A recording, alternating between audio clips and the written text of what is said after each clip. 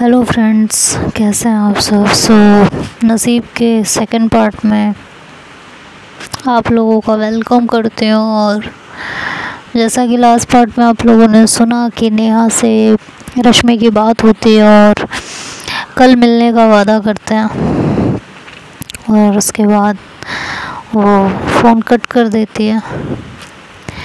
उसके बाद वो जाके अपने काम में लग जाती है, घर के काम निपटाती है और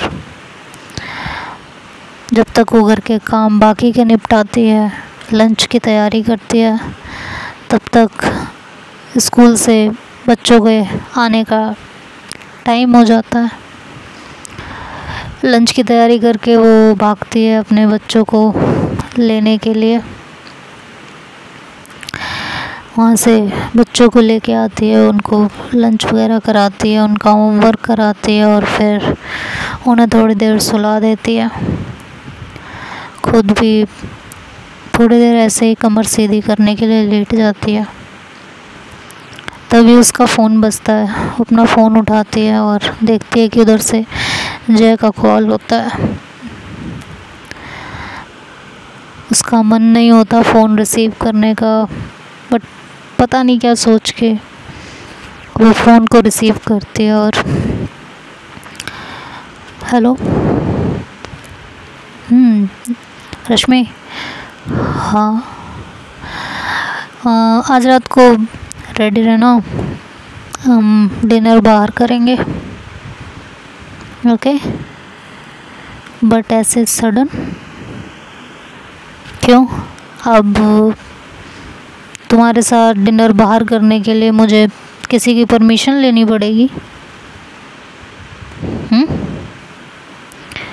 नहीं मेरे कहने का वो मतलब नहीं था। बस आप ऐसे कहीं जाते नहीं हैं तो इसलिए दिमाग में आया तो पूछ लिया। हाँ नहीं जाता हूँ बट आज जा रहा हूँ। तुम्हें कोई दिक्कत है तो बताओ। मेरी थोड़ी तबीयत ठीक नहीं है तो मेरा जाने का मन नहीं है। तुम्हारी तबीयत आए दिन ख़राब रहती है ना तुम साफ़ साफ़ क्यों नहीं कहती हो कि तुम्हें मेरे साथ कहीं बाहर जाना ही नहीं है हुँ? हम्म? ऐसा नहीं है जय तो कैसा है अब पहले तुम मुझसे ज़िद किया करती थी बाहर जाने के लिए अब जब मैं खुद तुम्हें कह रहा हूँ कि हम बाहर चलते हैं तो तुम्हारी तबीयत ख़राब है। तुम्हारे आए दिन तुम्हें कभी सर में दर्द, कभी कुछ कभी कुछ लगा ही रहता है। कोई काम तुम्हें करना नहीं होता। पूरे दिन घर में रहती हो। हाँ? फिर भी तुम्हारी तबीयत ही नहीं ठीक रहती कभी। हमारी तरह जिस दिन तुम्हें काम करने पड़ जाएँगे, उस दिन तो पता नहीं क्या ही हालत होगी तुम्हारी। है ना? उसकी ये बातें सुन के रश्मि को अपनी किस्मत में फिर से अफसोस होने लगता है और वो बात को आगे ना बढ़ाने के लिए जैसे कहती है कि, ठीक है, मैं तैयार रहूँगी। बच्चों को भी तैयार, बच्चों को तैयार नहीं करना है। मैं और तुम चलेंगे। बच्चों को किसके भरोसे छोड़ के जाएँगे हम? वो लोग घर में अकेले थोड़ी ना रह पाएँगे। रह लेंगे वो। शिवम है वो संभाल लेगा राहुल को। बच्चे होने का मतलब ये नहीं होता है कि हमारी पर्सनल लाइफ ख़त्म हो गई है। और बच्चों को खुद भी मैनेज करना आना चाहिए ना। अब नहीं सीखेंगे तो कब सीखेंगे? तो उन्हें मैनेज करना है। सिखाओ और उनको सारी हिदायत दे देना। शाम को इस टाइम तक तैयार रहना। मैं आऊँगा पिक करने। लेट नहीं होना चाहिए। तुम्हें पता है मुझे लेट नहीं पसंद। बट जय एक बार प्लीज़ सोचिए तो सही। बच्चों को ऐसे अकेले छोड़ के हम लोग डिनर करने उन्हें बना के खाना खिला दो और पड़ोस में भाभी जी हैं, उनको बोल देना, ख्याल रखेंगी। बहुत लोग जाते हैं ऐसे। और हम पूरी रात के लिए थोड़ी ना जा रहे हैं। एक डेढ़ घंटे की बात है, डिनर करके चले आएँगे। और मुझे अब कोई आर्गुमेंट नहीं सुननी है। जितना बोला है, उतना करो। समझ में आया? और ये कह के वो कॉल कट कर देता है। रश्मि अंदर से बहुत ज़्यादा परेशान होती है, उसे बहुत ज़्यादा गुस्सा आता है, लेकिन वो कुछ कर नहीं सकती थी। एक बार को उसका मन करता है कि वो भाग जाए यहाँ से कहीं। दूसरी तरफ़ जो उस को अपने बच्चों का ख्याल होता है तो वो चुप हो जाती है। कुछ बोल नहीं पाते। एकदम खामोश। जैसे अभी थोड़ी देर पहले कुछ हुआ ही नहीं। उसे नींद भी टूटी टूटी आती है दोपहर में। सही से सो नहीं पाती। है बहुत सारी चीज़ें उसके दिमाग में चलती रहती हैं। इसी तरह शाम होती है, भारी मन से उठती है, बच्चों के लिए खाना बनाती है, उनको खिलाती है। उनको खिलाते खिलाते शिवम से कहती है कि, आज मैं तुम्हारे पापा के साथ बाहर जाऊँगी तो तुम राहुल का ख्याल रखना। रख लोगे ना? कहता है, जी मम्मी, मैं रख लूँगा। ठीक है तो मैं पड़ोस में आंटी से कह के जाऊँगी। अगर किसी भी चीज़ की तुम्हें ज़रूरत होगी तो उनको बोल देना। या राहुल ज़्यादा तंग करे तो उन्हें बता देना।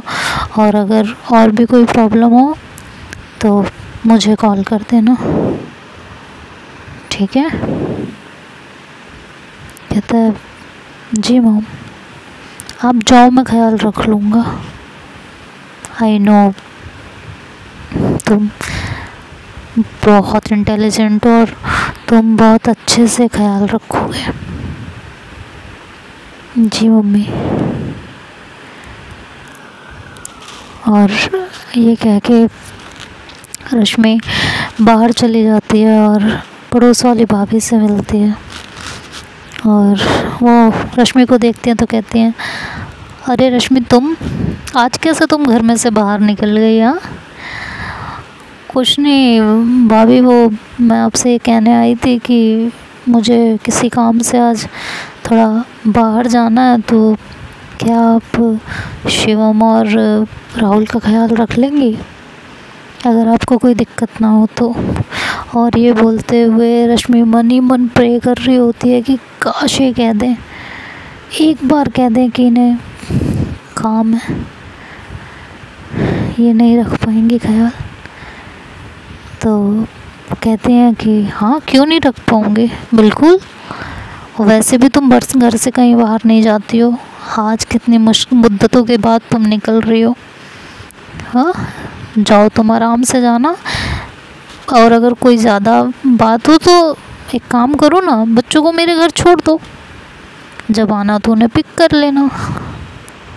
हाँ? तो कहती है नहीं भाभी, वो मैं देख लूँगी। बच्चे को मैंने बता दिया है, वो लोग रह लेंगे। आप बस उन्हें अगर किसी चीज़ की ज़रूरत हो तो बीच में एक दो बार उन पर नज़र डाल लीजिएगा और उनसे पूछ लीजिएगा। बस इतना ही काफ़ी है। तो कहते हैं कि तुम अकेली जा रही हो? तो वो नाम में सर हिलाती है। कहती है, वैसे रश्मि, मानना पड़ेगा तुम्हें। तुम्हें बहुत सहन शक्ति है। तुम जय जैसे इंसान को झेल रही हो। हम्म? कहती है, ऐसा नहीं है भाभी। अच्छे हैं वो। हम्म पता है हमें कितना अच्छा है वो। तुम्हारे घरों से आवाज़ आती है यहाँ तक उसके अच्छाई की। तो रश्मि का सर नीचे झुक जाता है। उसकी भाभी आगे आती हैं और उसका सर ऊपर करते हैं और कहती हैं कि, तुम क्यों अपना सर नीचे कर रही हो? हाँ? नीचे तो उसे करना चाहिए, जिसे कोई फ़र्क ही नहीं पड़ता। तुम क्यों इतनी परेशान हो रही हो? उसे ही तमीज़ नहीं है। इतनी सुंदर और हर एक क्वालिटी है तुम्हारे अंदर। इतनी खूबसूरत हो तुम और वो तुम्हारी कदर ही नहीं करता है। पता नहीं कैसे संस्कार हैं उसके। भाभी, आपको भी पता है ना, उनके मम्मी पापा नहीं हैं। उन्हें चाचा चाची नहीं पाल पोस के बड़ा किया है। वो शुरू से उन्हीं के साथ रहे हैं। और जो देखा है बचपन से वो वैसे ही बन गए हैं तो उनकी कोई गलती नहीं है और मैं खुश हूँ उनके साथ। हम्म, बहुत खुश हो तुम। दिखता है। भाभी आप कुछ ज़्यादा ही सोच रही हैं। ऐसी कोई बात नहीं है। तो आप इतना मत सोचिए। ठीक है रश्मि, तुम्हें रहने में कोई दिक्कत नहीं है तो हमें क्या आपत्ति होगी? लेकिन तुम्हें कोई भी, जैसे भी ज़्यादा अच्छा इंसान मिल सकता है। ये बात तुम भी जानती हो। जानती हो कि नहीं? तो रश्मि भाभी की तरफ़ देखते और कहती है, मुझे कोई नहीं चाहिए। उनकी भाभी कहती हैं कि मुझे एक बात समझ नहीं आई। तुम्हारे पेरेंट्स ने जय में ऐसा क्या देख लिया? वो तो इतने स्मार्ट भी नहीं है। तुम्हारे आगे तो वो कुछ भी नहीं लगता। और जब तुम्हारी शादी हुई थी, तब तो जय ज़्यादा कुछ कमाता भी नहीं था। फिर ऐसा क्या देख के तुम्हारी शादी कर दी? रश्मि कहती है, भाभी, मुझे लेट हो रहा है।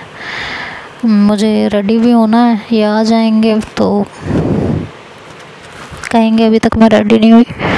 और ये कह के रश्मि अंदर आ जाती है और एक ख्यालों में खो जाती है। कैसे उसके पापा ने उसे एक लड़की के साथ देखा था।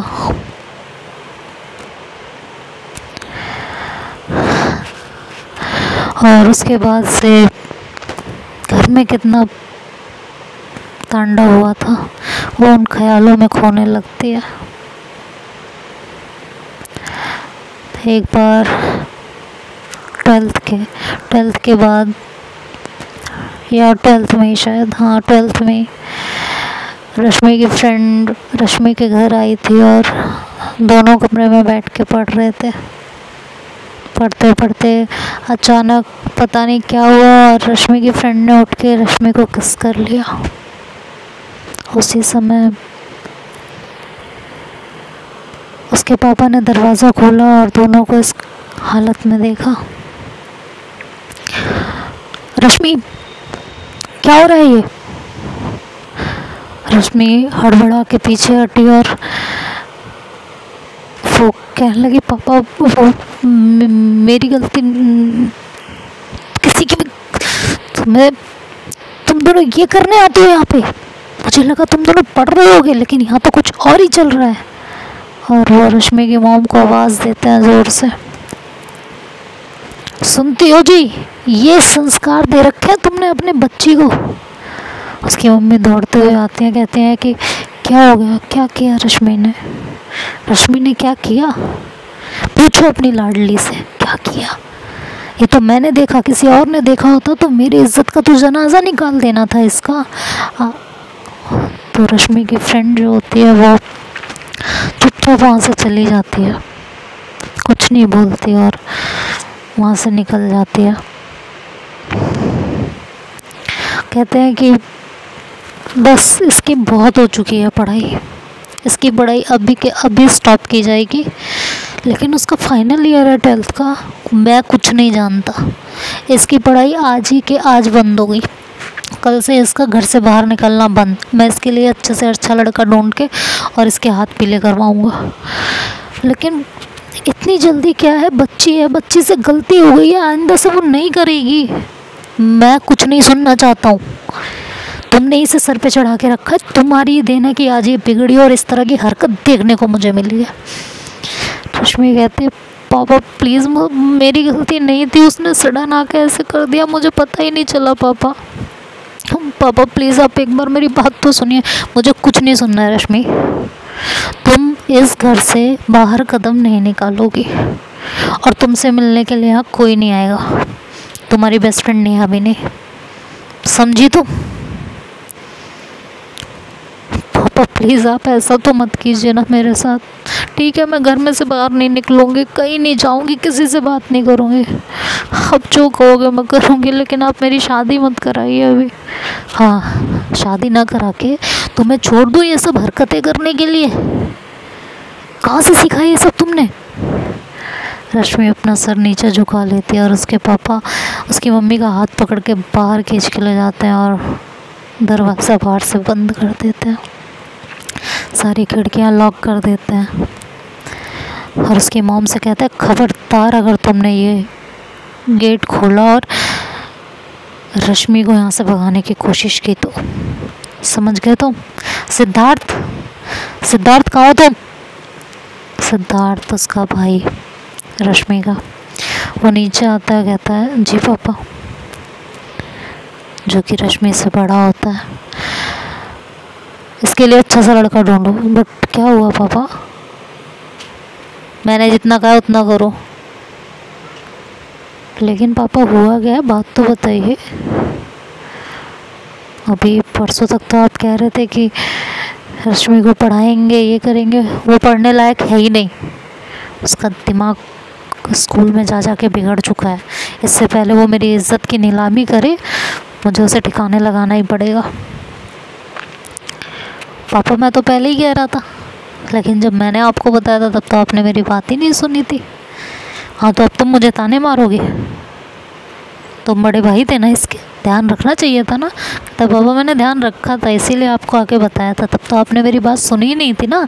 आज जब आपने खुद देखा है, तुम्हें कैसे पता मैंने क्या देखा है? पापा, मैं भी आपके पीछे ही था। और फिर वहाँ से ऊपर चला आया। क्योंकि जो मैं आपको बताना चाह रहा था, वो तो आप देख ही चुके थे। मैंने आपको पहले ही कहा था, लड़की है, इतनी छूट नहीं देनी चाहिए, लेकिन आपने मेरी बात ही नहीं मानी कभी। हाँ तो बस करो अब इसके लिए अच्छा सा लड़का ढूंढो। उसकी मम्मी कहती हैं, आप लोग बेवजह बातों को बढ़ा रहे हैं, और सिद्धार्थ, तू, तेरी बहन है ना वो? हाँ तो बहन है मेरी। मैंने समझाया था उसे कितनी बार, मत करिए सारी हरकतें। रश्मि अंदर से चिल्लाती है, झूठ बोल रहा है। इसने मुझे कभी कुछ नहीं कहा और मैंने ऐसा कभी कुछ किया भी नहीं है। तो कहता है हाँ ज़ुबान तेरी तो बहुत चलने लगी है ना? मतलब कि ना ही रश्मि का भाई और ना ही रश्मि के पापा, दोनों में से कोई उसे नहीं समझता था। उसकी माँ कहती है, उससे गलती हो गई, उसे समझा दीजिए, अभी से उसकी शादी वो बच्ची है अभी। बच्ची नहीं है वो, बहुत बड़ी हो चुकी है वो। और अब उसकी लगाम किसी के हाथ में देनी पड़ेगी। नहीं तो ये ना मुझे कहीं मुँह दिखाने लायक छोड़ेगी नहीं। और ये कह के रश्मि के पापा घर से बाहर निकल जाते हैं। अपना फ़ोन उठाते हैं और कई जगह फ़ोन करने लगते हैं।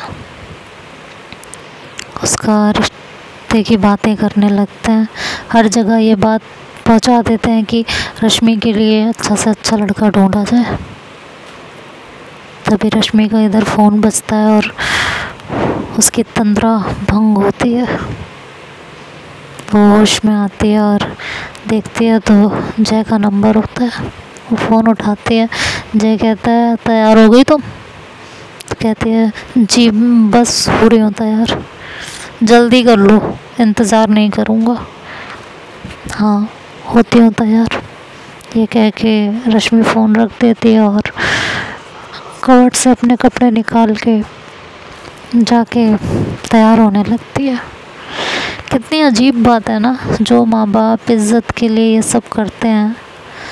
उन्होंने ये नहीं सोचा कि अभी इस उम्र में जब शादी कराएँगे, कितने साल की रही होगी वो? सत्रह? अट्ठारह हाँ?